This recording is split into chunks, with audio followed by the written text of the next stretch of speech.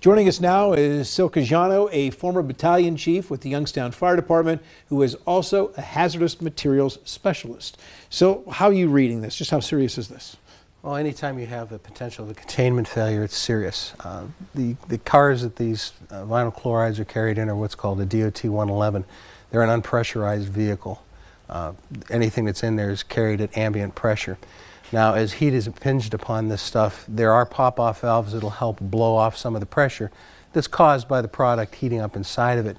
At some point, you reach a breakover point where the uh, pop-off valve will not sufficiently release enough pressure and you start heating the inside of the, uh, the tanker and the product that's in the tanker. Eventually, it reaches a boiling point and you have what's called a BLEVE, which is a boiling liquid expanding vapor explosion. And that'll rip the tank apart and that'll cause the shrapnel to fly in all directions.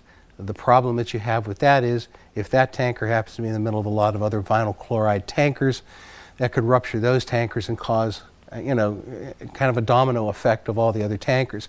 When that stuff releases, the vinyl chloride will release, it'll catch fire, and as it burns, it's going to give off, you know, the, uh, the hydrogen chlorides and the phosgenes. So I have a question. We kind of talked a little bit about this earlier.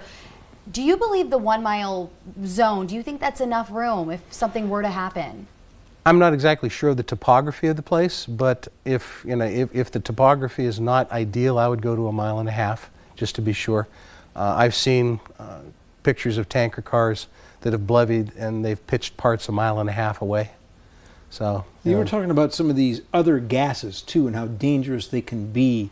Uh, Talk about that a little bit. If it does blow, there'll be gases in the air, correct? Yeah, you'll have some gases. As the, the, uh, the vinyl chloride starts to burn, it'll burn off into either the hydrogen uh, chloride or the phosgene. The phosgene is the, the worst of the bunch.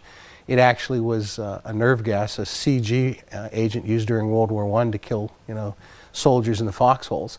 It's an asphyxiant. It gets into your lungs uh, you'll actually drown in your own fluids because it'll create an acid that your lungs trying to neutralize.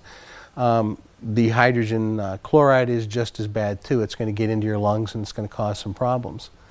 Um, Norfolk Southern did release that there was also butyl I, I, acrylate. acrylate as well as benzene residue. Can what what are the dangers associated with those? The butyl acrylate is kind of similar to that of the vinyl chlorides. It's extremely flammable. However, unlike the um, the vinyl and the uh, the hydrogen chlorides and the phosgenes, they're they're not as it's not as deadly.